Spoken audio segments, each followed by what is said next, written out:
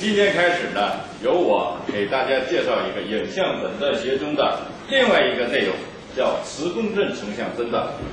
啊，那么这个内容呢，对大家来讲可能是比较陌生，不像 X 线、CT 大家是比较熟悉的，而磁共振成像诊断学呢是比较陌生的一个新的东西啊。那么在上课之前，为了便于我们的交流和互相之间的沟通，我首先做一个自我介绍啊，我叫李少林，是南方医院影像中心的，这是我的办公室以及我的家里套房哈，欢迎大家随时有问题可以可以我们沟通。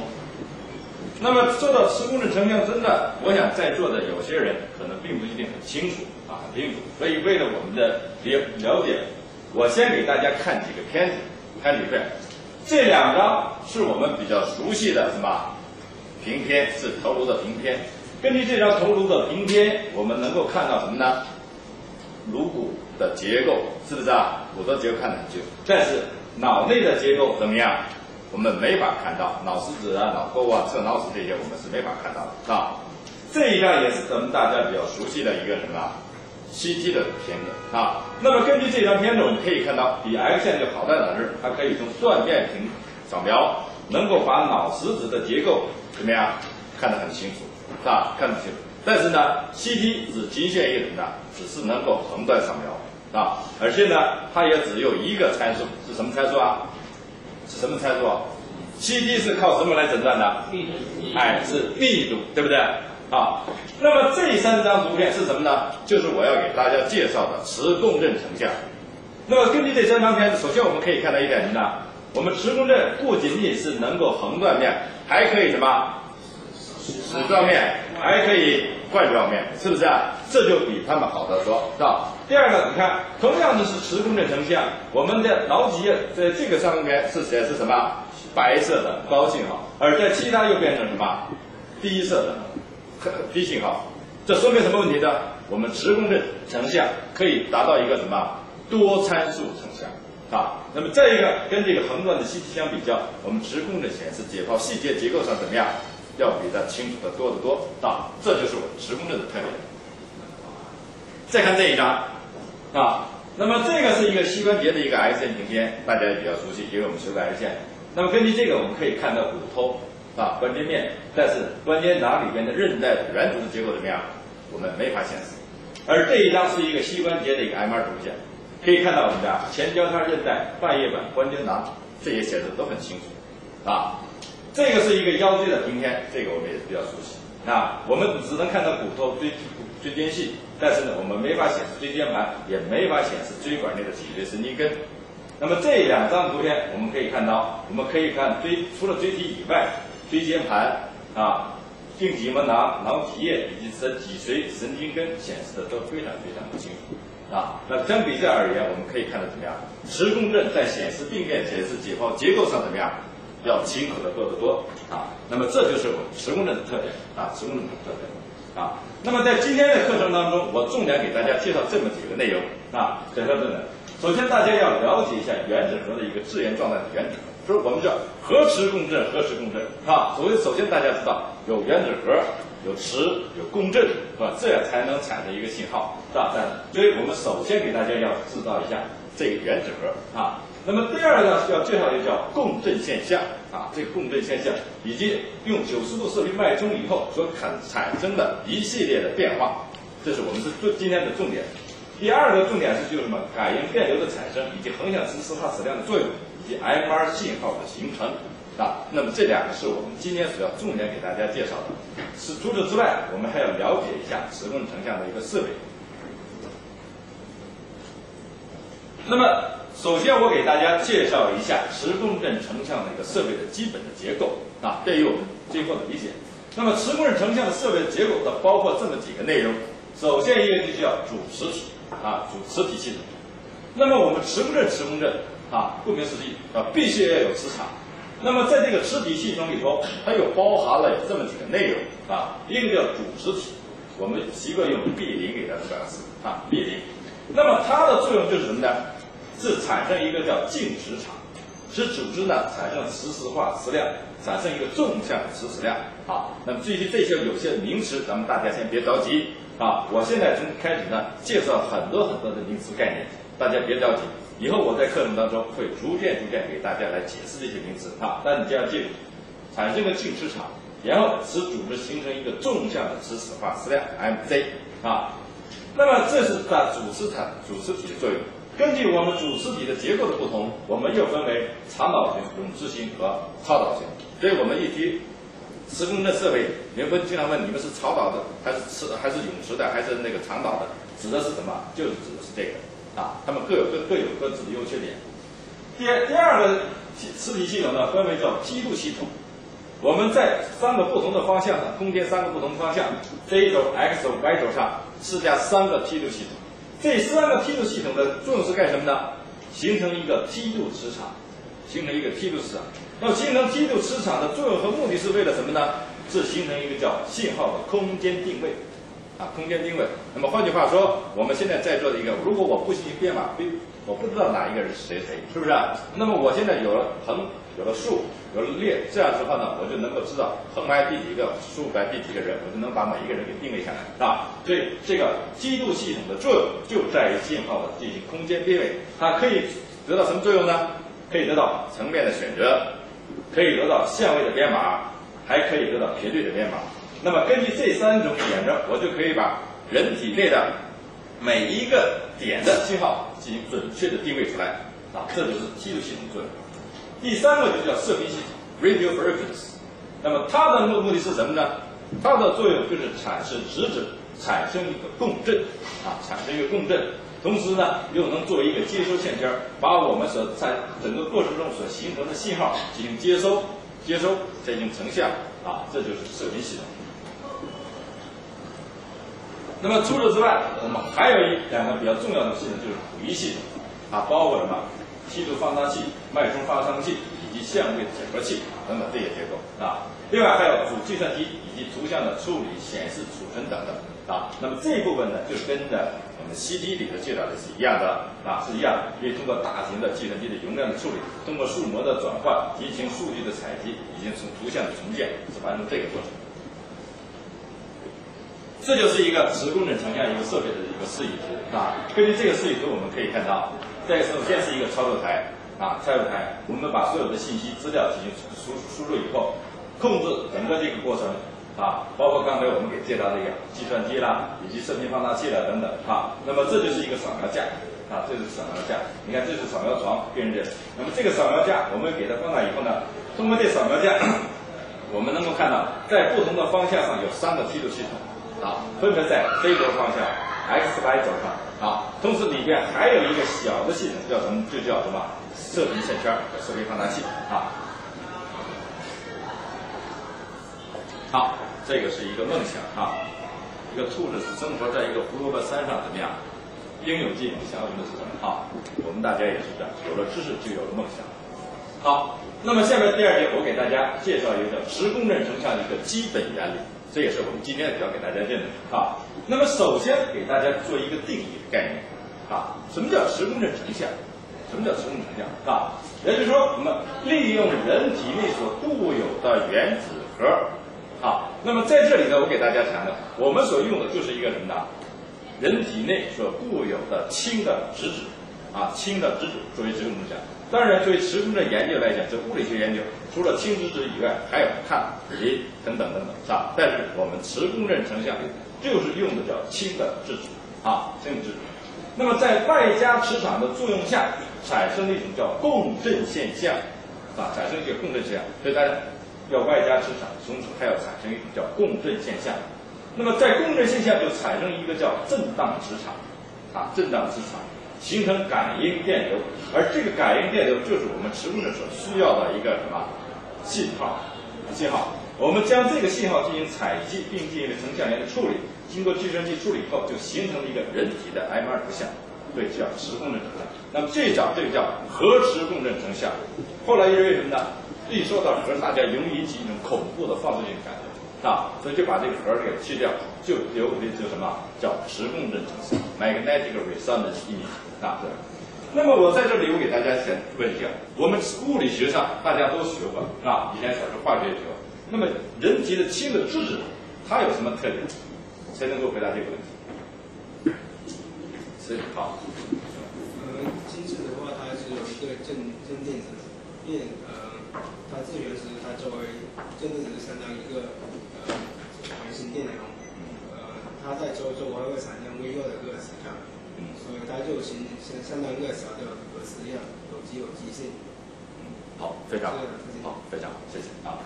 好，那么我们所用的原子呢，刚才这同学是回答的非常，它是一个原子核，它是一个怎么样啊？只有一个质子，它会形成一个环形电流，就相当于一个小的磁棒啊。这个小的磁棒就是我们形形成磁共振成像一个最基本的一个单位啊。另外，氢质子还有一个优，还有一个优势什么呢？它在我们体内的分布很广泛啊，也是我们构成我们人体组织的一个什么最主要的一个呃一个原子核。所以我们在磁共振成像里头呢，就利用我们。这个特性来进行磁共振成像啊，好，那么我们现在就是给大家简单的概述一下磁共振成像信号产生的一个基本的过程啊，基本的过程。那么首先是在自源状态下原子核的一个状态啊，那么第二个就是说我们在外加磁场以后，我们这个质源状态的原子核又发生了哪些变化啊？又发生哪些变化啊？那么这些变化就包括什么？我刚才给大家提到静磁化矢量，以及进动，以及共振吸收的能量，发生磁性的偏转，产生横向磁磁化啊。那么这些呢，它都遵循的一个原则就是拉姆公式啊，拉姆公式。第三个，我们射频脉冲终止以后，这些原子核又会发生的一系列变化。首先，它要释放能量，恢复到它的平衡状态啊，平衡状态。那么从产生 M R 信号，在这个过程有一个过程我们叫迟疑啊，relaxation。那么这个词语根据它的不同，我们又分为什么呢？纵向词语和横向词语，啊，纵向词语和横向词语。那么在这个过程当中，啊，在这个过程当中，我想问一下，啊，就是我们学过在质源状态下这原子核它是一个什么样的状态？这个是咱们也复习一下咱们以前学过的东西，对于我们理解今天讲的内容非常重要。那谁能给我回答一下问题？就是质源状态下原子核，好，这样，请这位同学。呃，因为自己的吸收方向。加入五张，效果比较是整个进行相当对对啊，好，OK，非常好啊。也就是说，刚才那个同学说了，每一个原子核怎么样呢？有磁性，有一个小翅膀。但是呢，在质源状态下呢，我们人体内所表现出来是怎么样的？有没有磁性啊？有没有磁性？没有啊。所谓的相互吸引，那是谈恋爱的异性之间的吸引，是不是啊？我们正常之间是没有，为什么呢？就刚才这位同学说了，是什么？因为什么呢？很多的原子核在质源状态下怎么样？它虽然有磁性、有磁矩、有自旋，但是呢，它杂乱无章的排列，相互之间怎么样？抵消了。所以我们在质源状态的人体是不产生磁性，是没有磁性，是吧？但是我一旦施加外加磁场以后，怎么样？这个我们想，我们小的时候可能都玩过这，就是把一个小磁棒放在和磁体一接触以后，会会发生什么变化？会发生什么变化？这咱们谁玩过没有？有没有哪个同学能给我说一下？好，就是这个。呃，因为它这个只有是，呃，那你的那磁磁力线的方向表示排列的。对。它那个正反方向抵消以后呢，它就产生了一个你那个外的磁场的方向一致的那种的静磁向量。静磁向好，就产生一个跟外加磁场方向一致的一个静磁矢量，是吧？好，好，OK，非常大。所以说，我们外加磁场以后就产生静磁化矢量 mj 啊。那么这个是我们磁共振成像的一个非常非常重要的一个过程啊。为了便于理解，咱们大家理解这个过程呢，我用我们自己编的一个一套课件来给大家演示一下。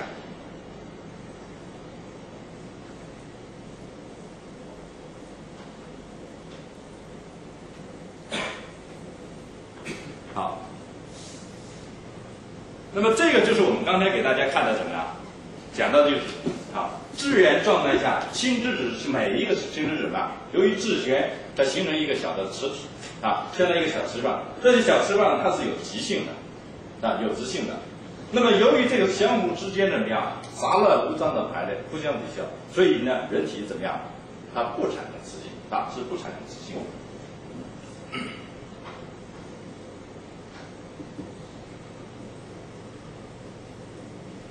那么一旦当我们给它施加一个外加磁场以后，外加磁场以后怎么样？外加磁场以后怎么样呢？这个小磁棒怎么样？就会怎么样？沿着我们的磁力线的方向进行重新的排列，是不是？一部分顺着磁力线方向排列，一部分怎么样？逆向排列，但总的晶磁量上产生一个跟外加磁场方向一致的一个磁场，我们叫纵向磁石量。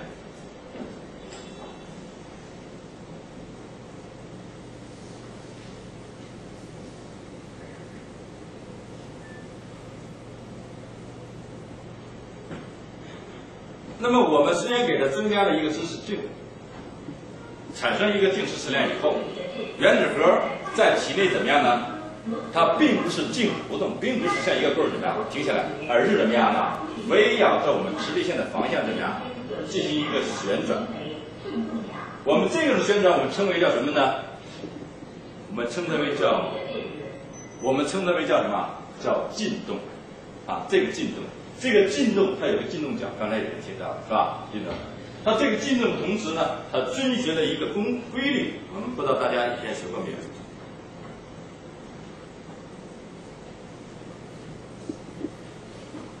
那进遵循一个什么规律呢？叫拉姆公式，不是吧？拉姆公式。那么它的进动的频率，通过这个公式，我们可以看到什么呢？这个 B 零就代表的是什么？外磁场的强度，也就是说原子核所处于的磁场的强度。那么换句话说，我这个外磁场的强度一旦固定以后，我们就能够怎么样呢？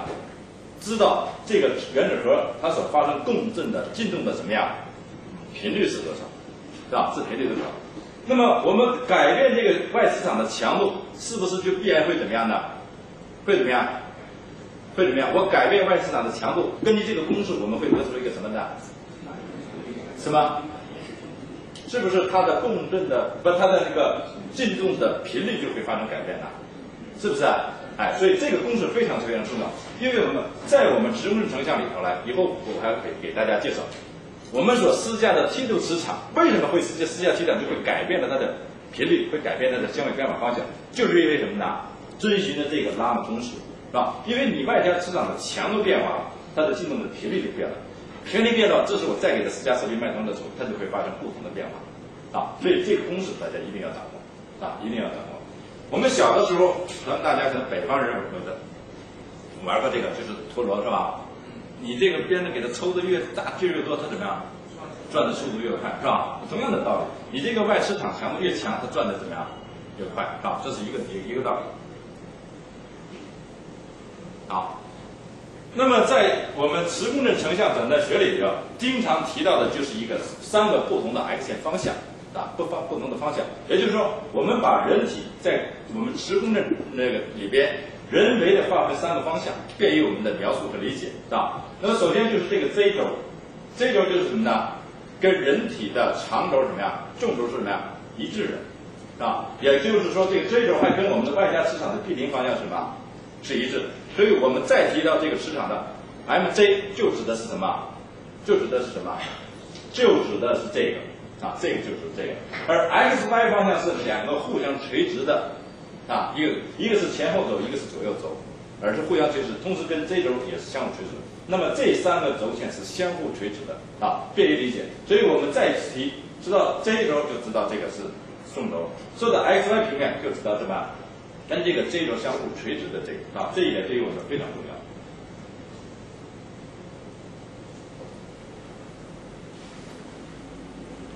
好，那么我们刚才已经提到过，啊？那么一个原子核在我们磁场中间，并不是固定不变的，啊，它是旋转，同时它跟 Z 轴方向之间怎么样？有一个夹角，我们称之为进动角。那么这样一来，每一个原子核的磁矢量怎么样呢？咱们在物理学都学过叫平行四边形法则，对不对？咱们都学过是吧？那么根据这个平行四边形法则，我们就把每一个原子核的磁质量都可以按照这个法则分为分解成为什么呀？Z 轴方向的和 X、Y 平面方向的磁质量啊，分出来。所以这个是我们在成人能量里头经常用到的，把这个磁质量按沿着不同的方向给它进行分解，同时还有和还有进行怎么样综合。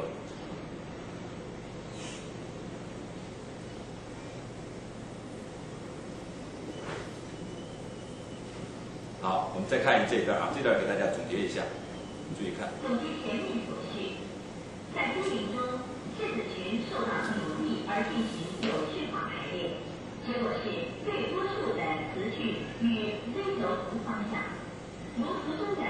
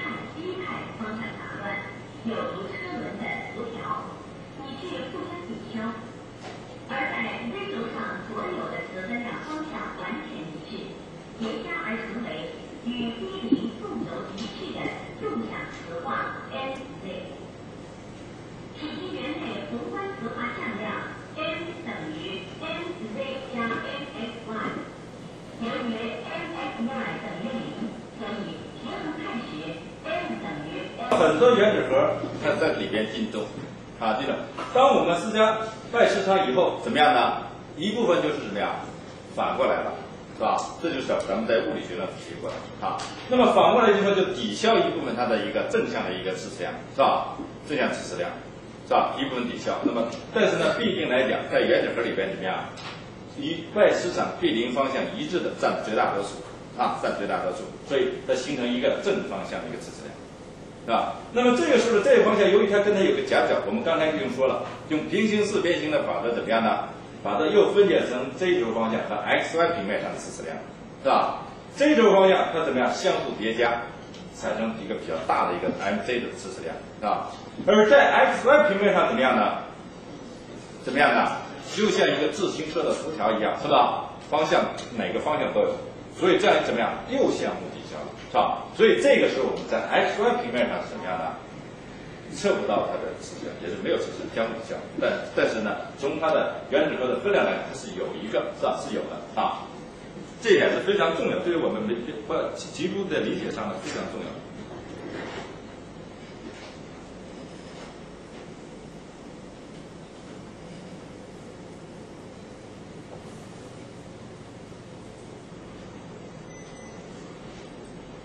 啊，这就是产生一个总的晶磁质量啊，这段有我们就不给大家看了啊。S 进入正磁场后，看，一个最直接的结果就是经过质子有序化排列及进动时的相位分散，首先宏观上产生了一个纵向磁化矢量。纵向磁化矢量 MZ 里组织就有了磁性，啊可惜纵向磁化是无法测定的。啊，这个就是说我们人体进入到磁场以后啊，产生了一些变化，最终的一个结果就是什么呢？产生一个叫纵向的磁场化啊。纵向磁场化只是我们进到进磁场以后的一个最基本的过程，但是呢，这个时候还不能形成一个直共成像啊，还不能一个形成啊，只是一个直共振成像的一个这个前提条件啊。我们再往下看。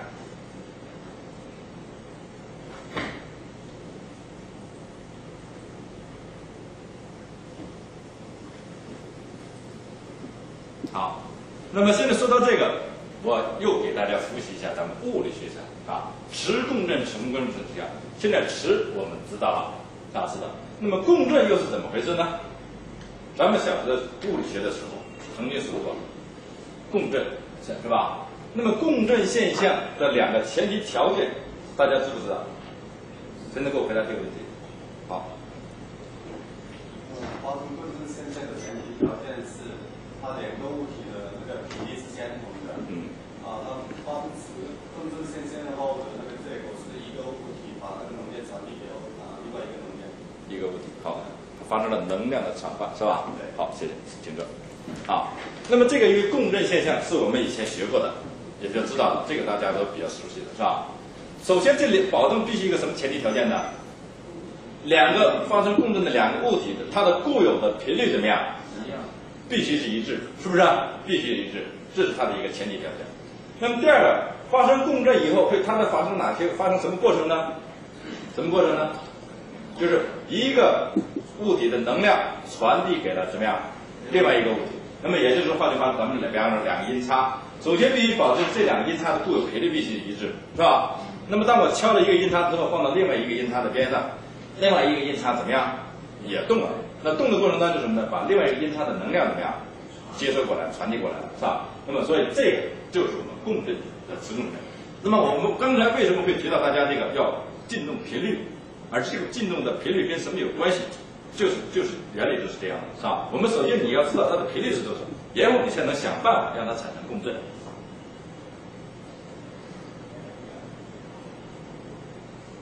好，那么这个时候我们刚才说了，这主磁场有个 mc 的静止矢量啊。那么下一步我们要开始干什么呢？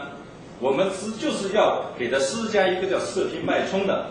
啊，射频脉冲使它产生共振，使它产生能量的变化，这样就是为了我们下一步接收信号作为一个作为打一个基础，啊，打一个基础。那么这个过程是什么过程？啊，咱们大家啊这一块再好好看一下。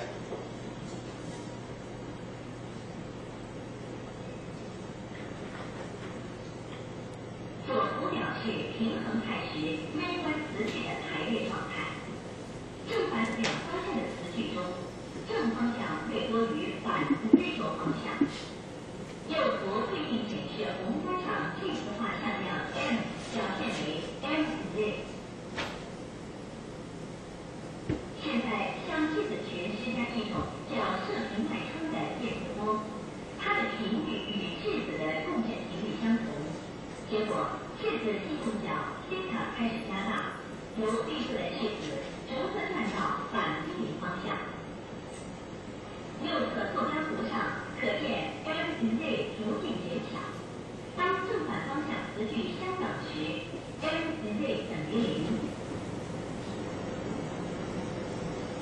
请再看。注意一下啊，注意一下，看看这段。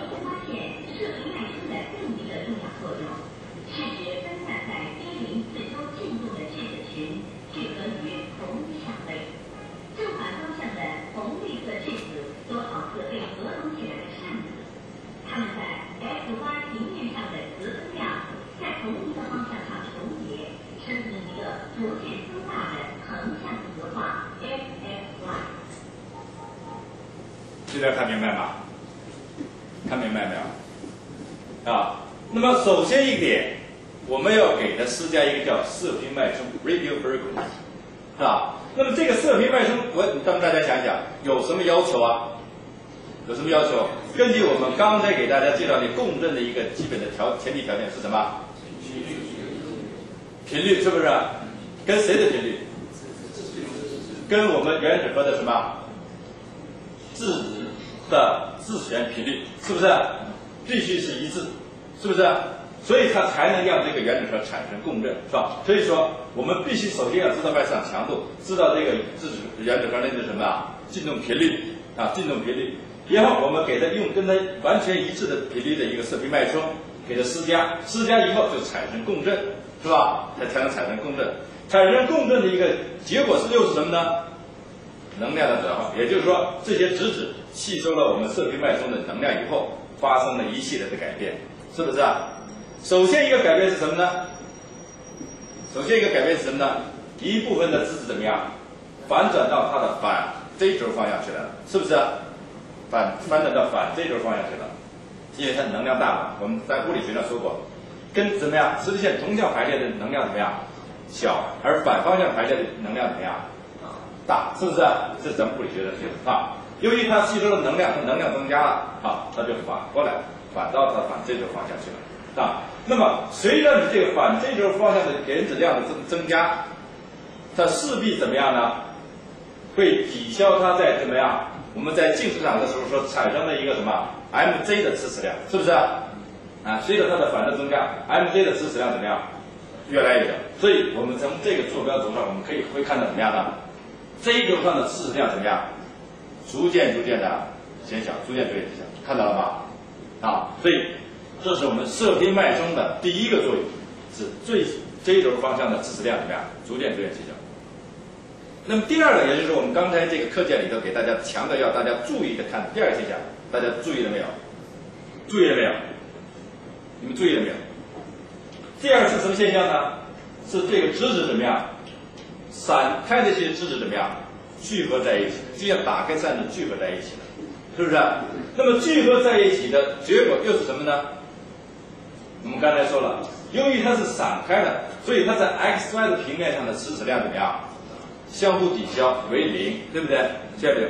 那么当它一旦聚合以后，怎么样？当它聚合以后，是不是就在 x y 平面上会形成一个怎么样一致的磁质量？就像我们三开扇子打开以后合在一起之后怎么样？聚合在一起了之后，就会形成一个在 x y 平面上一个磁质量。所以这样一来，又会一个什么现象呢？我们从这个坐标轴上看，x y 平面的磁质量怎么样？随着我四平面中施加的时间的不同，怎么样？逐渐逐渐的增大，逐渐逐渐的增大，是不是啊？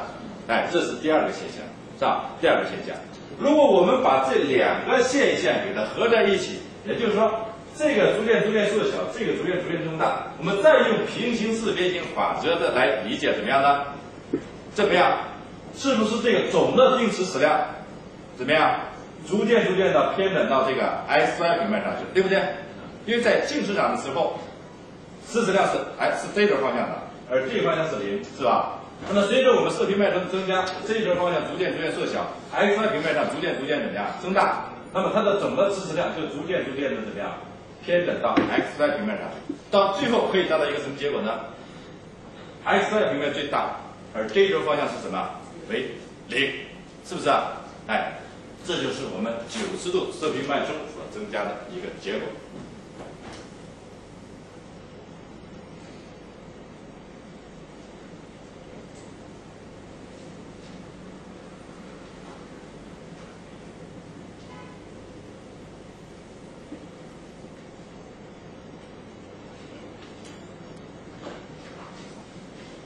好，我们为什么要产生这个？好，我们给的四点九十度脉冲，为什么要产生一个横向磁石流量？我们目的是在什么？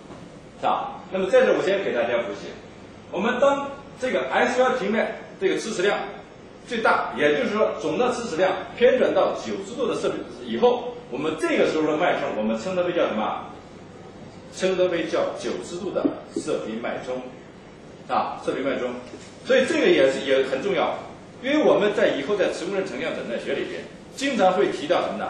不同的角度的射频脉冲啊，也就是有九十度，有一百八十度，还有什么四十五度、三十度、十五度小角度的，为什么呢？它根据什么来的？就是根据，就是说让它使实时量偏转到多少角度，那么这个射频脉冲就是多大角度的射频脉冲啊，是这么来的。所以以后再提到这个九十度脉冲、一百八十度、四十五度，咱们大家就知道，那么施加这个四十五度的射频脉冲的结果是什么？实质量偏转到四十五度角啊，偏转到四十五。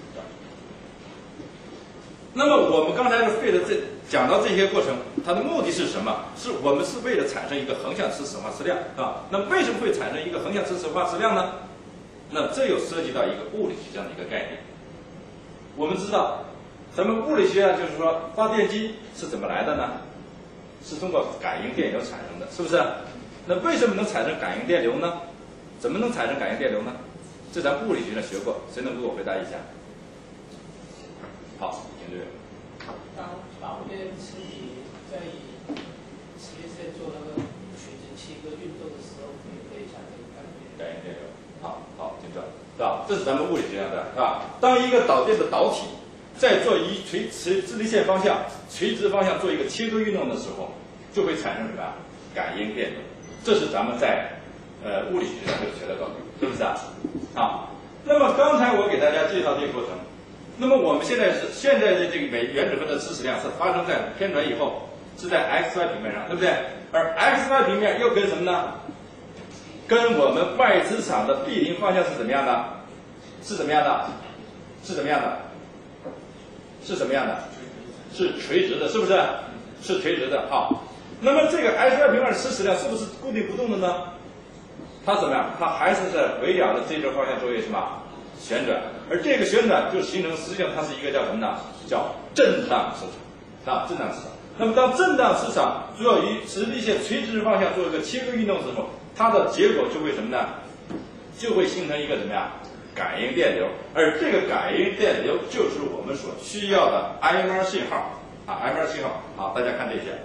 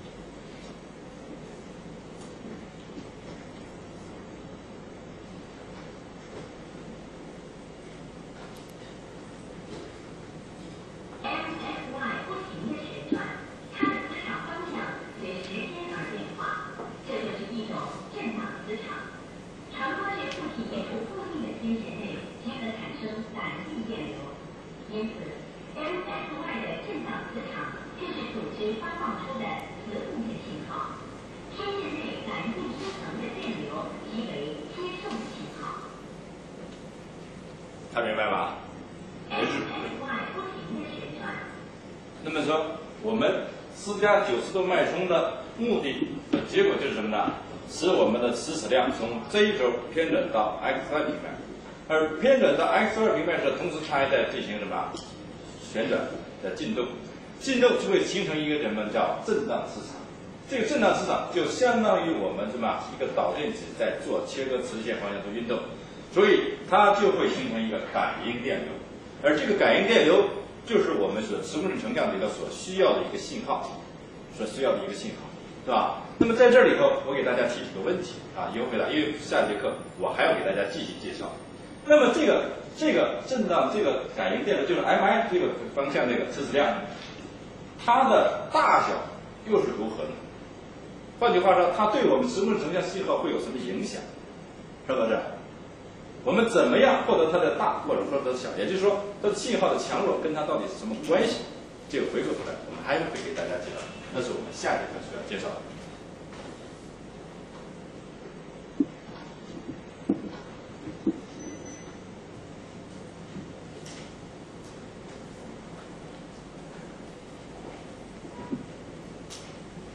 好，那么通过刚才这一系列的介绍啊，介绍，那么我们现在给大家做一个小结啊，做一个小结啊。那么我们今天这节课所重点讲的，首先我们大家了解了一下什么呀？自然状态下的氢的原子核，也就是氢的质子，它的有是有磁矩的，它是有自旋的，是吧？它的磁矩和自旋它是有固定的。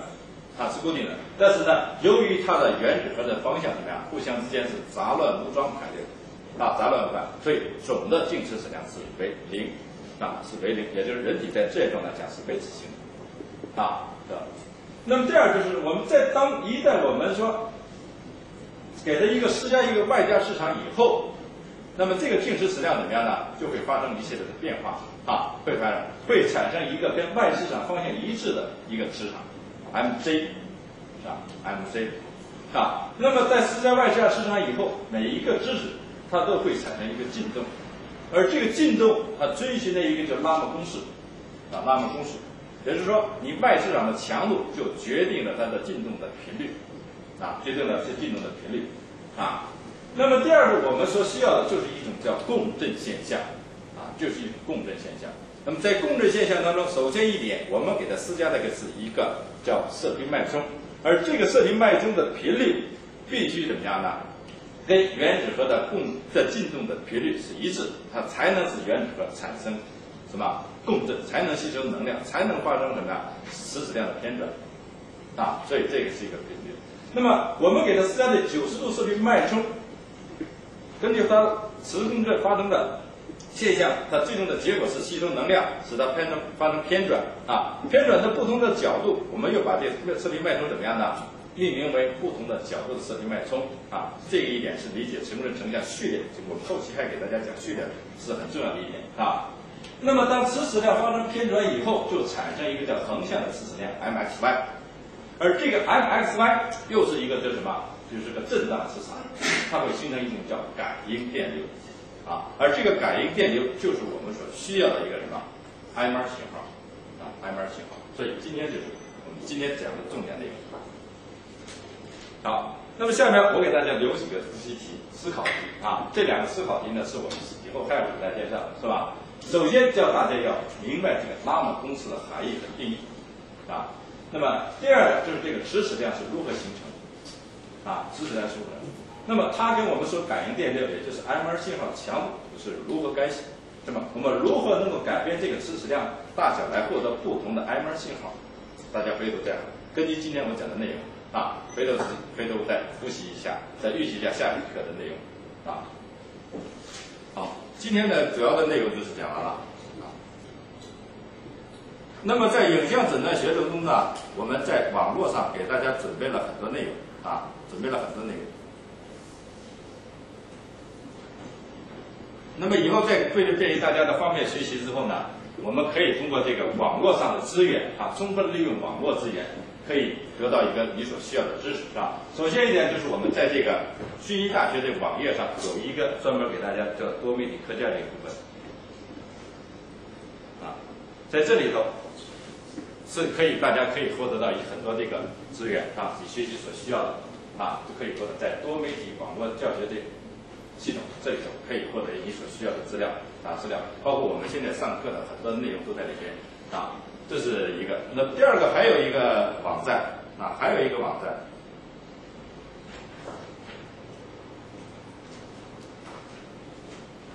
在南方医院啊，进入到南方医院的那个网页以后呢，在南方医院的网页里头还有一个影像。你看影像，影像教学网站啊，这个网站里也有很多教学内容，大家，也是那样。那么我们点击进入以后呢，就可以，也可以进入到学习和，需要查找自己所需要的资料，啊，这这部分内容都可以在上面看。好，好，先这节课就到，先先下课休息一下。